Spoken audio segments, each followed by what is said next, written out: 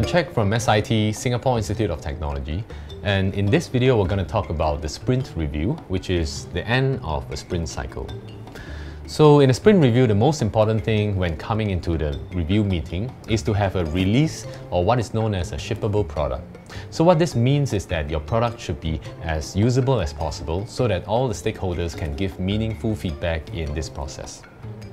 So in this sprint review process, a key task to be done is to decide each feature of the product, whether they can be deemed as completed or not. And how this is done is basically looking at the user story related to each and every feature and all the acceptance criteria that is on the user story that has been decided in the sprint planning. So for all, each one of these acceptance criteria, the team as a whole will decide whether they can be checked off. And once every single of this acceptance criteria can be checked off for a particular user story, then we can move this user story that has all the acceptance criteria checked into the completed column. And that is the gist of the sprint review process.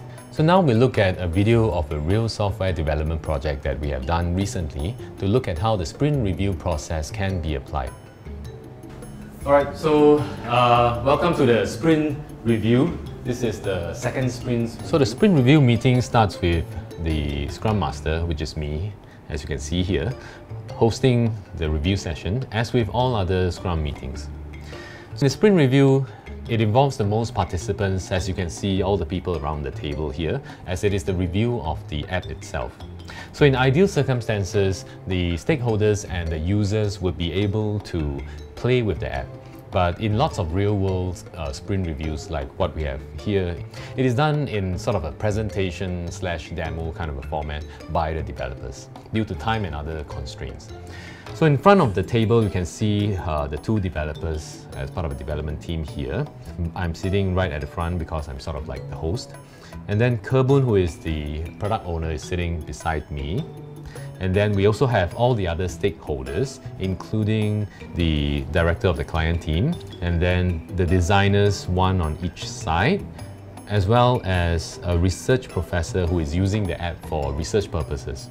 So after the Scrum Master has kicked off the meeting, the product owner then reminds everybody of the sprint goals. This is before the developers proceed to demo each one of the features the review in general will be performed against the user stories agreed during the sprint review, which is what you are seeing on the presentation screen over here on this Jira software that we use to manage all the user stories. Developers will then demo the completed features one by one according to each one of the user stories. And everyone will have an opportunity to give feedback around the table as the developers are demoing the features. So if this trade doesn't have some trade, right? Or it will be uh, affecting the main trade. And here we can see the product owner actually giving feedback about the feature that's being demoed on the screen right now. And the product owner will most likely be the most active as uh, he's sort of responsible for the user stories right from the start from the sprint planning. So in the sprint review as well, he will likely be the person who's going to regulate this process showing each user story and determining whether each one of them can be completed with the views from the team.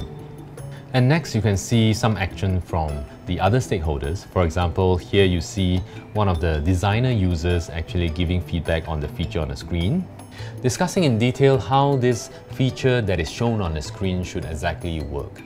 And this is an example of something that is key to the sprint review as the discussion would lead to a decision on whether this uh, user story can actually be completed or not.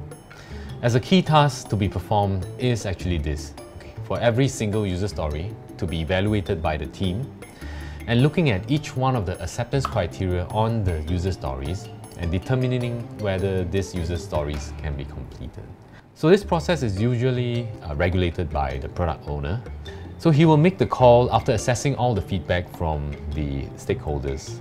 If there are any changes, then the product owner will actually note it down and use this information for the next sprint planning in the next sprint cycle. And so this will be repeated for every single user story.